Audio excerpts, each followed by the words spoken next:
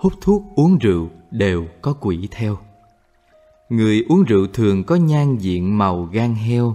Người hút thuốc thì mặt xám là nguyên nhân gì? Người uống rượu có ma men đeo theo.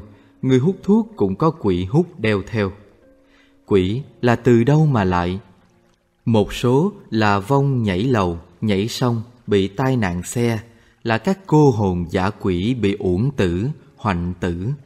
Không thể lập tức đầu thai, nhưng lúc làm người rất ưa hút thuốc uống rượu.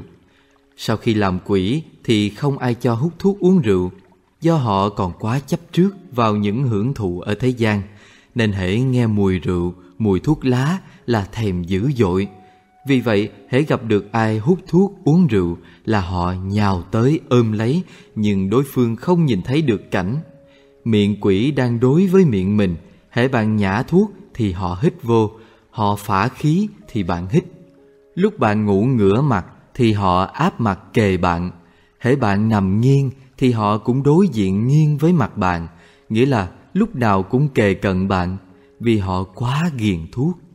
Hễ bạn nhả thuốc thì họ hít, họ nhả khí thì bạn hít, mà người thuộc dương, quỷ thuộc âm, nên vô tình bạn cùng họ trao đổi khí xấu.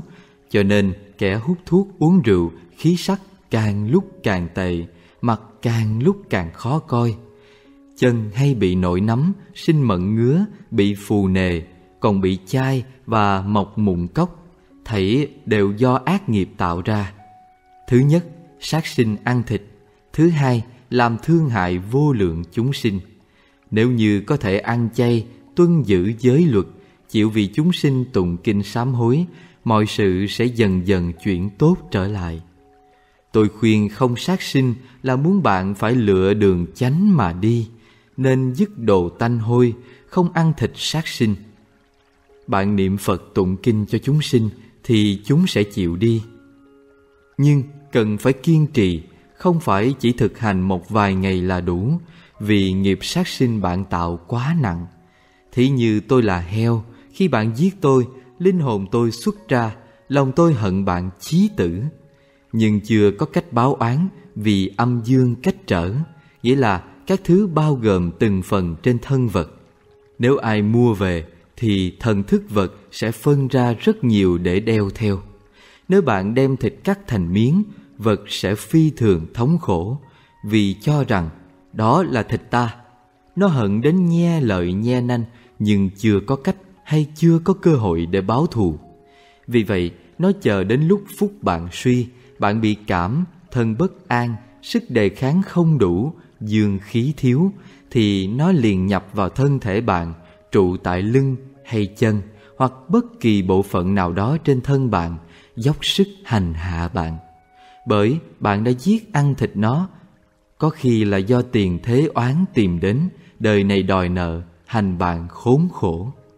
Cho nên, cách giải quyết tốt nhất là ăn chay, đi vào đường học phật chân chánh. Phải vì những chúng sinh bạn giết qua, thành tâm tụng kinh, niệm phật hồi hướng.